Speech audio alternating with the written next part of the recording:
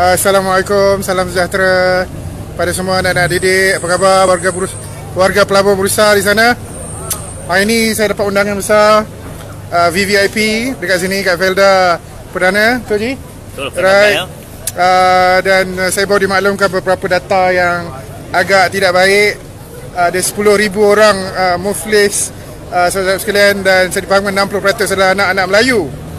Dan kita juga tahu uh, apa nama ni siswazah uh, gaji purata hanyalah RM2,000 dan 80% komplain uh, gaji tersebut tak cukup nak menampung uh, perbelanjaan siswazah-siswazah kita. Kesian.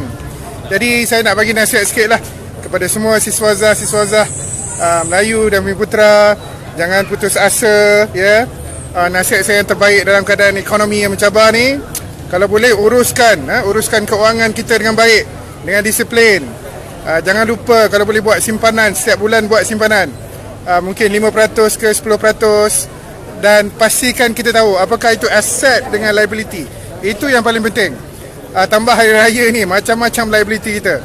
Dan saya nak nasihatkan kepada semua uh, warga-warga pelabur, siswazah khususnya belajarlah sedikit tentang ilmu pelaburan saham. Ya. Yeah? Dan bagi saya pelaburan terbaik adalah saham tuan-tuan dan puan-puan.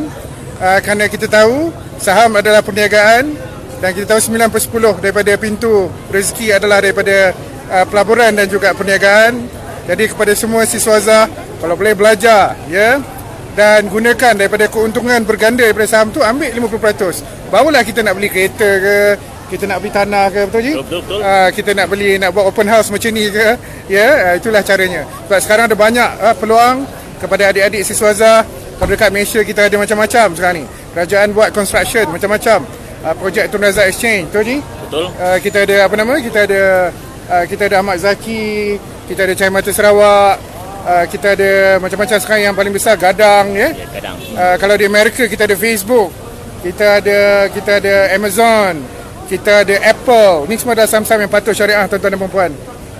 Jadi kepada semua anak-anak didik siswaza, saya harapkan gunakan masa kesempatan ini untuk belajar dengan lebih baik, okey? Siapa yang berkelapangan, kalau boleh datang ke seminar saya insya-Allah bermula hujung bulan 8 ini, seminar pelabur global.